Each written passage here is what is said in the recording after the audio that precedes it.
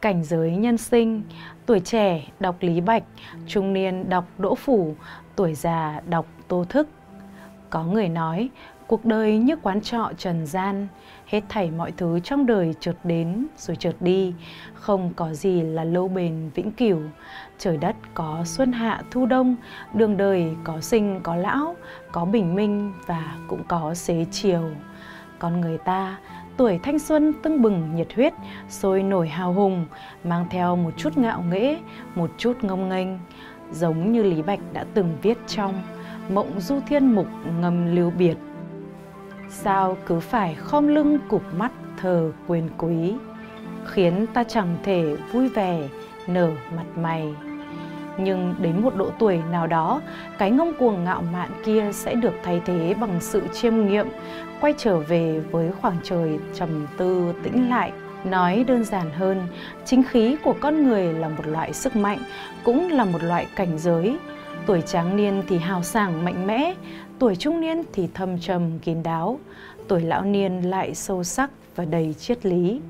Ba nhân vật đại biểu cho hai thể thơ cổ Đường Thi, Tống từ là Lý Bạch, Đỗ Phủ, Tô Thức có thể giúp chúng ta nhìn ra ba cảnh giới lớn hơn của đời người.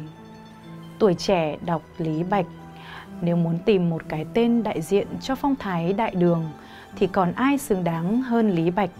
Hết thảy khí chất của đại đường thịnh thế đều kết tinh trong thi ca Lý Bạch. Sự tài hoa vô song của ông tới nghìn năm sau vẫn ảnh hưởng đến hàng vạn văn nhân hậu thế. Dám hỏi phong thái của Lý Bạch là gì? Chỉ cần dăm ba từ là có thể nói lên tất cả. Chính là thiếu niên dân quốc mãi mãi.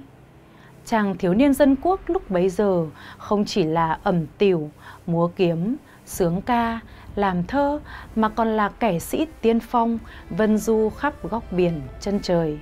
Lý Bạch, ông là một hiệp khách được biết đến là việc xong dụ áo ra đi, xóa nhòa thân thế, kể gì tiếng tâm.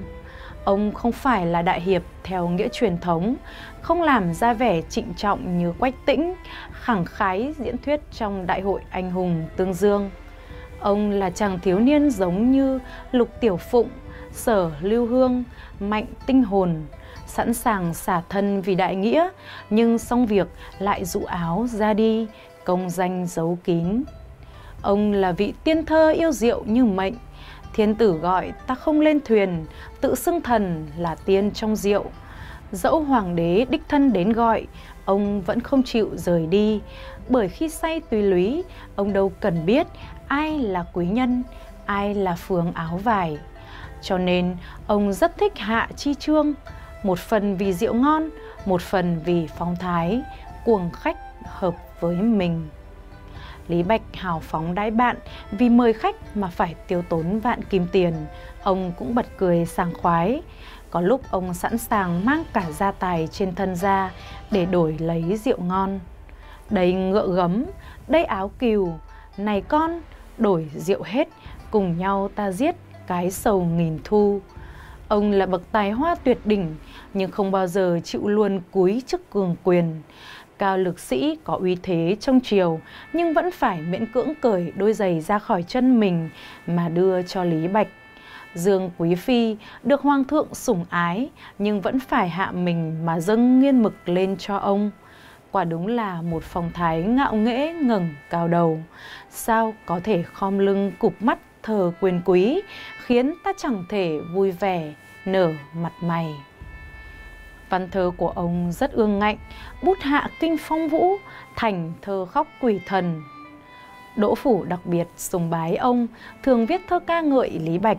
Sau khi ly biệt, Đỗ Phủ vẫn thường mơ thấy ông, tin rằng Lý Bạch là đại bàng tung cánh giữa từng không, một ngày nào đó sẽ cưỡi gió mà bay lên trời xanh. Lý Trạch Hầu từng nói về Lý Bạch rằng một phong độ hào sảng ngang ngạnh sông pha, thậm chí có chút khí phách vô lại, tung hoành trên trang giấy. Và đó chính là Lý Bạch, Lúc đắc ý thì ngạo nghễ hào sảng, lúc thất ý thì cũng không nản lòng. Dẫu hiểm nguy rình rập tứ phía, ông vẫn ung dung ngang dọc khắp bốn biển chân trời. Ở tuổi thiếu niên anh Tuấn hay là lúc tuổi đã xế chiều, ông vẫn mãi là anh hùng đắc chí trong thời đại huy hoàng, là cuồng khách rượu say, có phong thái ung dung tự tại.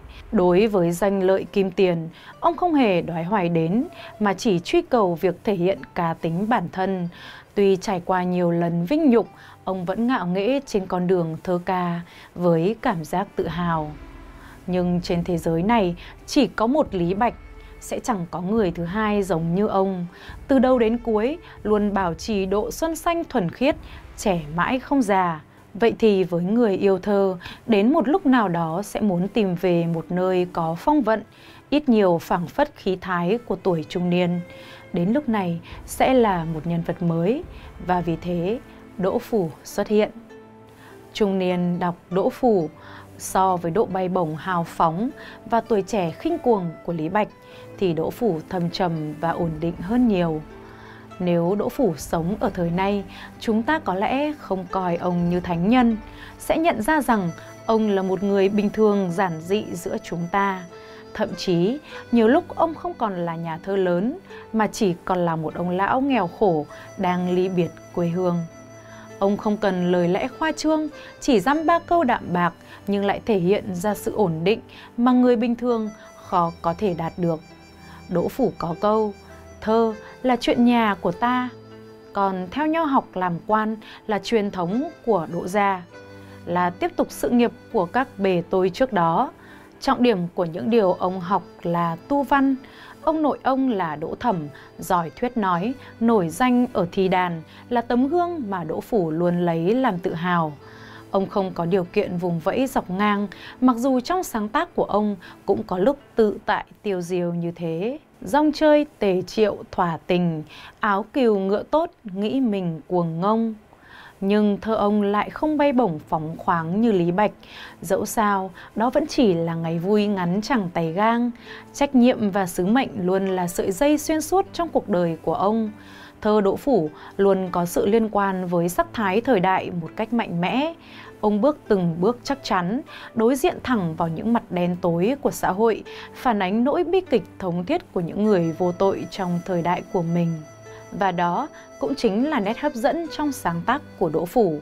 Trong những năm tháng sống đời lăng bạt, ông không chỉ diễn tả sự khó khăn và hoàn cảnh khốn đốn của bản thân, mà còn dành tình cảm cho những binh sĩ và dân nghèo. Sự ổn định của ông không chỉ là nét trầm tĩnh, mà còn phát triển hơn nữa thành sự kiên định và cương nghị, mang non nước của dân tộc mà tiến về phía trước. Trong sử ký, bá di liệt truyện có câu Kẻ tham lam chết vì tiền tài, kẻ sĩ bất khuất chết vì danh tiếng, người thích hư danh chết vì quyền lực, chỉ có thường dân là ham sống. Mà cái nhìn rất chân rất thiện về thế gian của Đỗ Phủ là xuất phát từ bản năng của ông. Kẻ sĩ lấy việc thiên hạ làm việc của mình. Đây là điều ông không cách nào buông xuống được, khiến bản thân ông không thể biết làm thế nào để vơi nhẹ nỗi lòng. Chính sự chăn trở về thế sự ấy đã làm nên tinh hoa của thơ Đỗ Phủ với hào quang chiếu rọi khắp nơi. Tuổi già đọc Tô Thức Tô Thức từng sống những năm tháng đầy ải ở Hoàng Châu, vốn là nơi hoang vu và hẻo lánh. Ông phải sống cuộc sống bấp bênh chưa từng có, trong khi kẻ đối địch lại không chịu buông tha cho ông. Mâu thuẫn giữa lý tưởng và hiện thực, giữa nhập thế và xuất thế cứ đan xen trong tâm trí khiến ông không cách nào thoát khỏi. Khi ăn uống kham khổ, ông viết Hàn thực thiếp, kể về ngôi nhà nhỏ như chiếc thuyền đánh cá ẩn hiện trong mây nước mịt mù và gian bếp trống trơn, rau luộc lạnh ngắt, cái bếp vỡ đốt lau sậy ẩm ướt. Nhưng đó vẫn chưa phải là toàn bộ cuộc sống của đồng phá cư sĩ. Ông đã tìm kiếm sự an nhàn trong tư tưởng thích lão, vốn được tiếp thu từ sớm, hấp thu tinh hoa của tam giáo, nho thích đạo. Những điều đó đã giúp ông có được tư tưởng tĩnh tại, cẩn thận điềm tĩnh ứng phó nỗi ưu sầu hoạn nạn có được chỗ dựa tinh thần mà từ đó trở nên lạc quan, sống ở nơi lưu đày nên cứ tùy ý mà thích ứng trong bức thư gửi cho Tử Do, ông viết tùy tinh cảnh mà tiêu diêu, tùy duyên phận mà buông xả. Tự ông khai hoang trồng trọt, ra vào nơi bếp núc, rửa sạch chảo gang, thêm một chút nước, đưa ít củi vào lò, dẫu lửa không đủ nhưng vẫn ninh được nồi thịt ngon. Cuộc sống thanh bần nhờ đó mà thêm một chút dễ chịu. Những ngày làm việc đống áng cũng vẽ thêm màu sắc cho ngày tháng lưu đày. Cho nên ngoài gia cảnh bần cùng khổ cực, ông cũng tạo cho mình một con thuyền nhỏ trôi theo dòng, khoáng đạt, điềm nhiên mà sống quãng đời còn lại trên sông nước. Những khổ nạn và cay đắng qua năm tháng dần dần bị mài mòn, thậm chí còn phảng phất chút sắc màu lãng mạn. Điều đã qua chỉ là quá khứ, điều còn lại là ngũ vị đầy đủ của cuộc sống. Câu chuyện của ba thi nhân lớn thời Tống Từ, Đường Thi cho ta thấy chuẩn tắc sống của người xưa bần tiện bất năng di, uy vũ bất năng khuất, sống cảnh bần hàn mà không đổi tiết, đối mặt uy vũ mà không chịu khuất phục. Khi đối diện với những chướng ngại trên đường đời, chỉ có thong dong tự tại mới có thể có lực lượng bất khả chiến bại. Hãy học cách thích ứng với bình thản, học cách bảo vệ sự yên tĩnh, cảnh khốn cùng không vây khốn lòng tin, cảnh thuận lợi không đánh mất tâm ý ban đầu. Trong mùi vị đạm bạc thưởng thức dư vị bình tĩnh, khiến con người bừng tỉnh và hiểu rằng sự lâu dài là lộ trình ắt phải đi qua, sự rực rỡ chỉ là phần sơ khởi ban đầu. Vạn vật đều có lên có xuống và cuộc sống cũng luôn có những thăng trầm.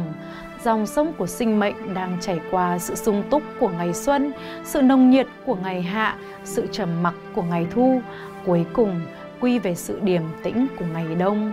Những quanh co của đời người cuối cùng quy về bình lặng, yên tĩnh mới là chủ đề không thay đổi. Cảm ơn quý vị đã dành thời gian ghé thăm chương trình. Hãy đăng ký và nhấn chuông thông báo để không bỏ lỡ những video mới nhất từ chúng tôi.